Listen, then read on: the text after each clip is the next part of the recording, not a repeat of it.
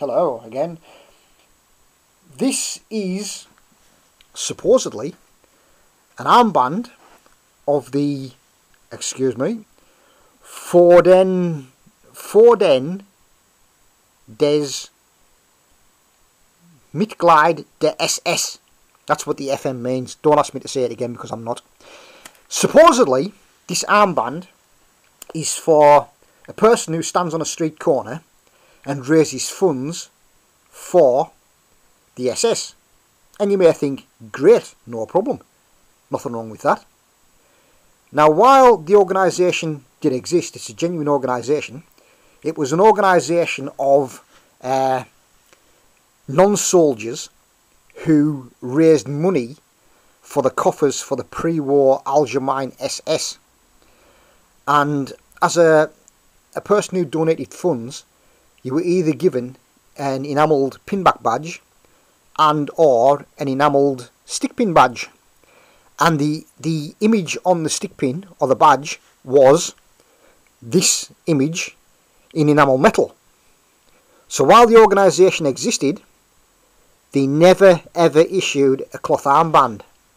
So in this sense, while the organisation is genuine, the armband with this on is fantasy. It never existed as an armband. Unfortunately, people see these and after they've been given the explanation that I've just given, people go, great, I'll buy one of them. Unfortunately, these things still turn up in America for sale and they make about $300. Lot of money to throw away on something that doesn't exist. These armbands usually printed details on a cloth band. They actually date from, I would imagine, the 1980s.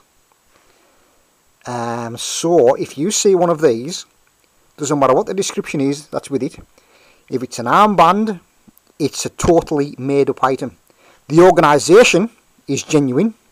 This does exist as an enamel badge for the people who donated money to the Allgemeine SS, but there was no such thing as somebody who stood on a street corner wearing this armband asking for donations. The people who donated were already patrons and they donated, I think it was monthly or weekly, and as a donator they were given an enamel lapel badge to wear on the civilian clothes because they weren't soldiers. So armband did not exist.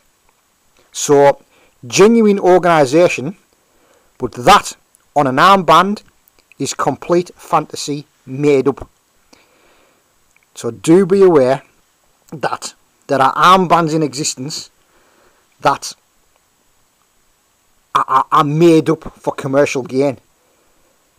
And as armbands are frequently found in America, these do turn up for sale in America at auction where they're given a reserve price of between 350 and 400 dollars and they make about 300 dollars but it's not a made up organisation genuine organisation but that image on an armband never existed in real life so do be warned if you see this armband you can dismiss it right away as a fake.